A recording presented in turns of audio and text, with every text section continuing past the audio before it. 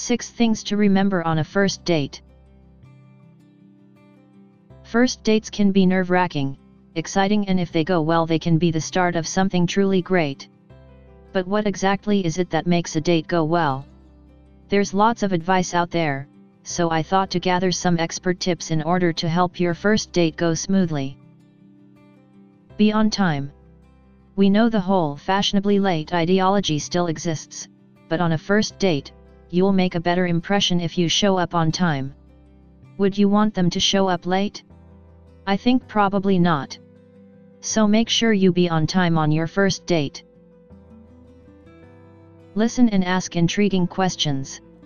In the best case scenario, you go on a first date with someone, and you hit it off. The chemistry is off the charts, and you're never at a loss for what to talk about. So be ready to listen more and ask intriguing questions that provoke emotion such as, What's your favorite place to travel and why? Or, What is it about your job that you love?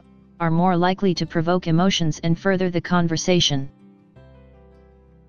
Don't bring up your EX. Yep, that's right. Keep your past with your ex in the past, unless you want things to get real weird. Discussions about a former flame are sure to happen, but the first date is neither the time not the place for it. Have fun.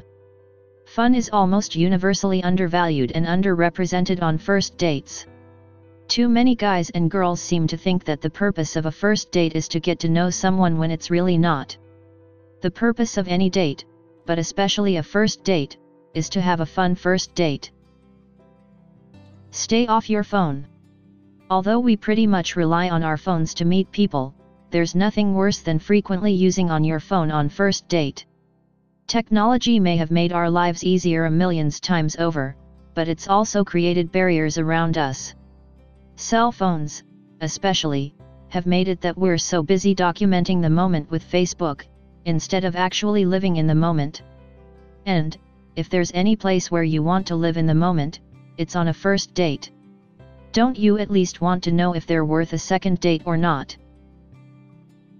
Stay away from controversial topics. Avoid controversial topics on a first date because they'll scare the other person off such as politics, religion, sex, and social media.